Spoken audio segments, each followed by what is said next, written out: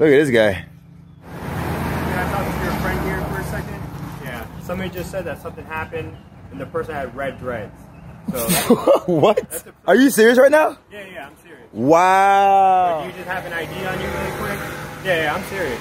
Um, can he know what he's being accused of? A robbery.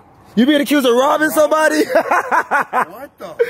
You're being accused of something. so you want to see his ID to see if he just robbed someone because he fits the description of red dress. Okay, I want to join this game.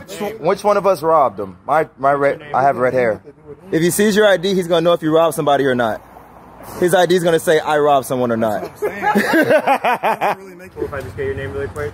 Spidey. Is it okay if I get your name really quick? Right now I'm gonna put you in handcuffs. Apparently, I'm not out here robbing people. Yes. I want your badge number and business I card. don't have to give you my badge. You don't have to give me your, your badge number. I'm not talking to You don't have. I just want it. I want your badge number. Where's your lieutenant, bro? I don't understand what's going on. Get out of here with that. Really, found? Get out of here.